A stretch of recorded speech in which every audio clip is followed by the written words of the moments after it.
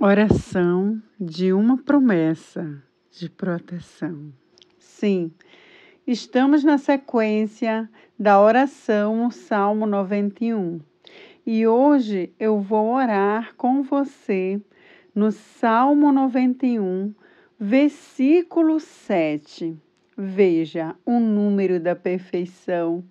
E Deus te lembra que Ele te promete nesse versículo a sua proteção divina. Aqui diz assim: mil cairão ao teu lado, dez mil à tua direita, mas tu não serás atingido. É isso aí. Essa é uma promessa de Deus para a tua vida. Talvez você diga: Ah, mas eu já tive muitas quedas. Ah, mas não aconteceu isso comigo, porque muitos caíram do meu lado, à minha direita e esquerda, e eu caí também. Porém, eu quero te lembrar que você não consegue ver a extremidade ou a profundidade do perigo que você passa todos os dias da sua vida. Quando você lê a palavra de Deus, no livro de Romanos, capítulo 8, diz que a morte passa por nós todos os dias, mas o Senhor nos guarda, o Senhor nos mantém de pé, o Senhor nos mantém vivos. Então, todos os dias, Deus tem te livrado de muitos males. Mil cairão ao teu lado, dez mil à tua direita. Você tem que acreditar nessas promessas de Deus, na promessa do Senhor.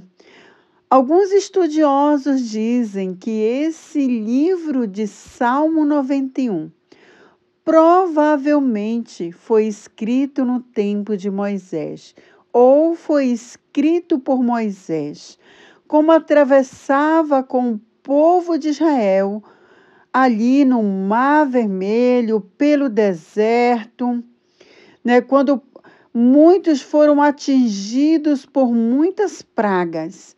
Mas veja que as pragas ali afligiram os egípcios mas os israelitas saíram ilesos. Sim, meu amigo.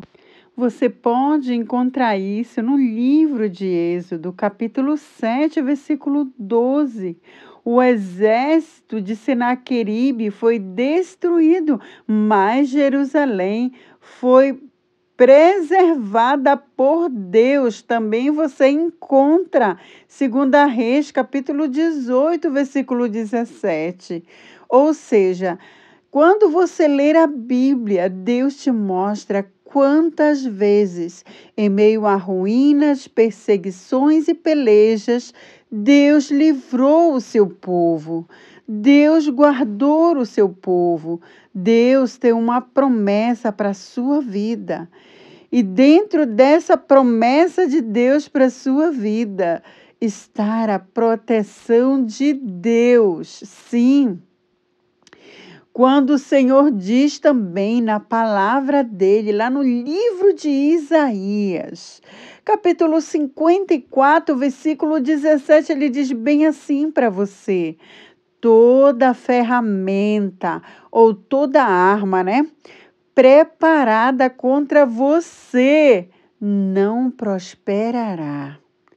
E toda língua que se levantar contra você, meu povo, em juízo tu a condenarás. Sim, esta é a herança dos servos do Senhor e a sua justiça que vem de mim, diz o Senhor. Aonde eu li, medita depois lá. Isaías 54, versículo 17.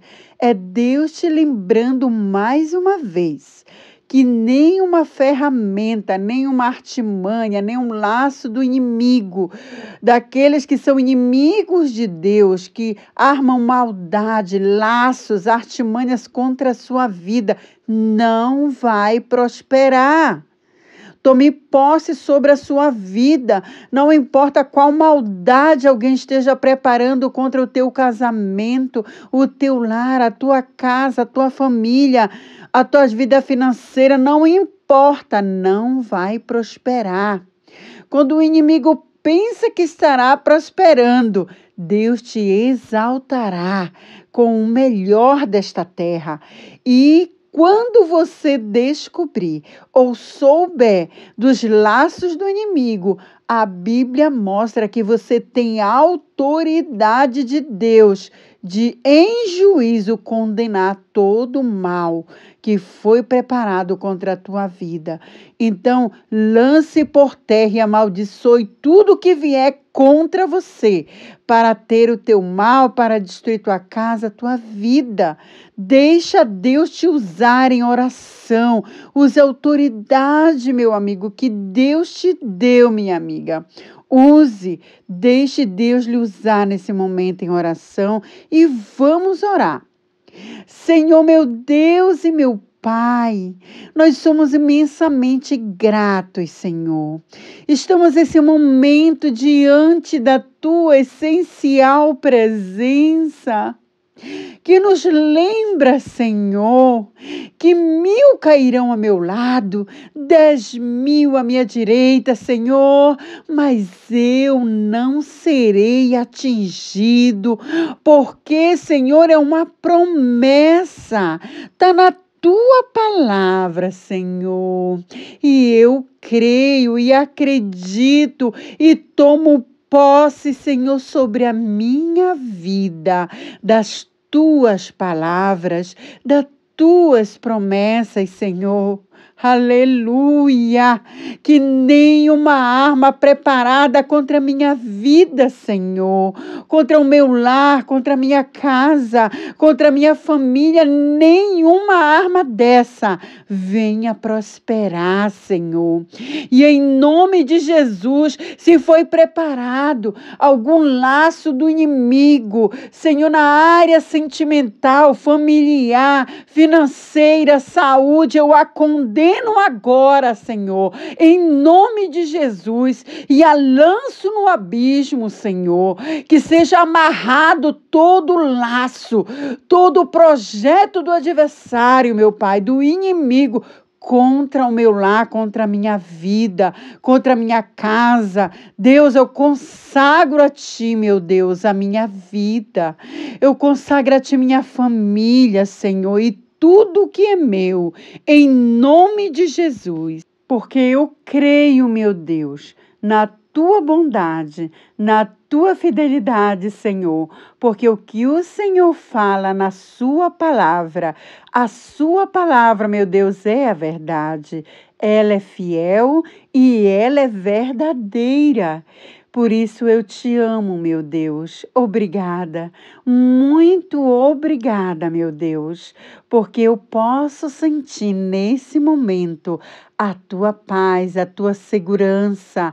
Senhor, quando tu me diz ah, Senhor, mil cairão ao meu lado, dez mil à minha direita. Sim, meu Pai, mas eu não serei atingido.